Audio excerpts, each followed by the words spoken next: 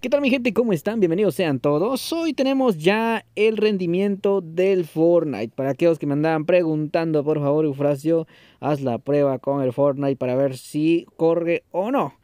Y sí, ah, vamos diciendo ya las cosas porque, porque sí, muchachos, ya hicimos ya la prueba.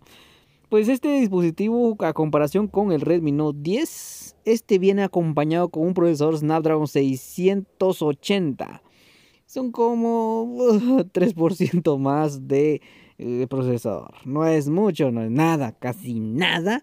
Y también la cámara 48 megapíxeles pasó a ser a 50 megapíxeles. Este trae ya 50 megapíxeles. Miren qué bonito. La verdad es un teléfono bien llamativo, muy bonito, chilero, que de lejos se ve la calidad y el empeño que puso Xiaomi. Pero aquí estamos diciendo las cosas como son.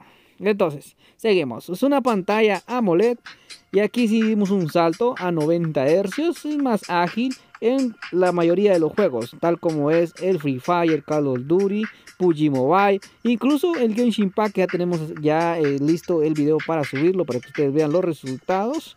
Pero en el Fortnite sí nos dejó mal sabor de boca. Se cierra, se cierra el juego. Incluso le bajamos los hercios a 60 y los FPS en el juego lo pusimos a 20 y si se cierra muchachos.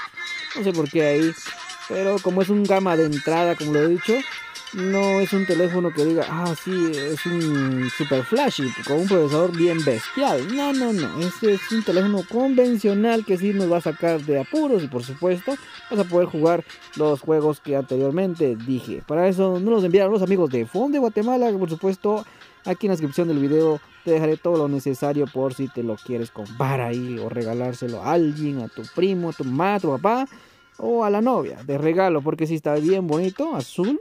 Ahí ustedes vieron que es bien chilero y muy llamativo, por supuesto. Ya atento con porque vamos a ver qué pasa con el Fortnite. A ver, a ver, incluso también otra novedad muy bonita trae ya el Game Turbo actualizado, que incluso mi Poco F3 ya le cayó esa pequeña actualización, aunque no tiene la MIUI 13, ya más adelantito va a llegar. Mira aquí estoy, ahí, aquí estoy viendo la cajita para que ustedes vean que se trata del Redmi Note 11. Miren, esto no voy a hacer nada de nada. Y saludos a aquellos que han llegado hasta aquí. No olviden suscribirse. Dale un poderoso like. Miren esto, por favor.